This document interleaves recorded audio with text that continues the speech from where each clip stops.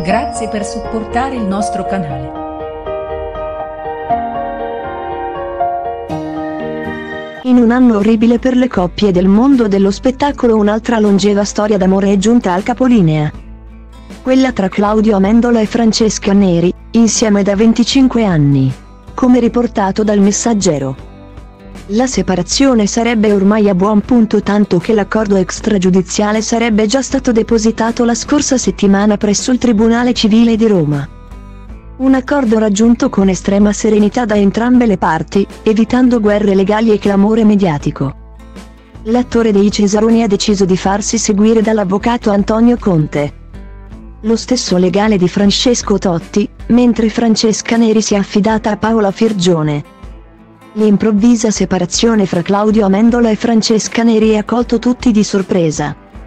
Principalmente perché maturata nella più totale riservatezza da parte di entrambi ma soprattutto perché è arrivata a seguito delle convinte dichiarazioni dell'attore romano che solo qualche mese fa smentivano categoricamente le voci di una possibile crisi tra i due. Non è assolutamente vero, per carità.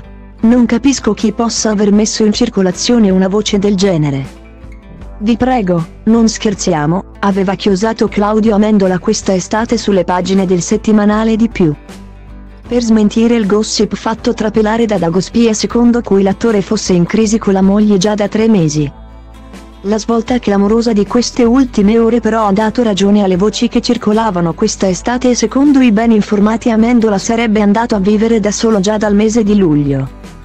Il messaggero riporta che, secondo quanto previsto dall'accordo extragiudiziale, l'abitazione condivisa dalla coppia resterà a Francesca Neri a cui spetterà anche un mantenimento mensile e Claudio Amendola si occuperà anche del sostegno economico del figlio Rocco. Quella formata da Claudio Amendola e Francesca Neri è stata da sempre considerata una delle coppie più longeve e inossidabili del mondo dello spettacolo.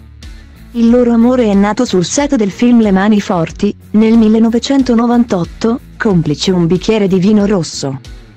Dovevamo girare una scena di una cena in cui avremmo dovuto bere del vino rosso. E io le ho chiesto se le piacesse e mi sono presentato con una bella bottiglia che abbiamo bevuto e, Galeotta fu la bottiglia.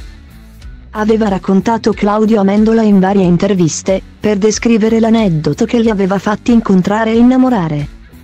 Solo un anno dopo è nato Rocco, il loro primo e unico figlio che oggi ha 23 anni e l'11 dicembre 2010.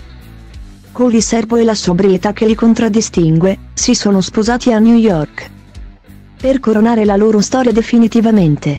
La stessa Francesca Neri, da sempre molto schiva circa la sua vita privata in occasione del suo 59 compleanno aveva pubblicato un post dedicato a suo marito e alla loro storia d'amore, due amanti felici non hanno fine né morte. Nascono e muoiono più volte vivendo, hanno l'eternità della natura.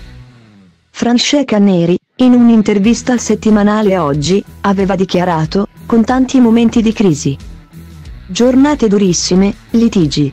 Però c'è sempre stato. Claudio mi ha salvato. Parole colme di gratitudine nei confronti di Claudio Amendola e che probabilmente si riferiscono anche a quella malattia che l'ha colpita da qualche anno e la tiene lontana dalla tv e dai set cinematografici. La cistite interstiziale cronica. L'attore romano, in un'intervista rilasciata a Verissimo, aveva toccato il delicato argomento dichiarando, starle a fianco è stato il mio compito. Non è stato difficile. È stato difficile per lei. Parole che provano quanto sia forte il legame tra i due attori. Nonostante la loro storia d'amore sia giunta ormai al termine,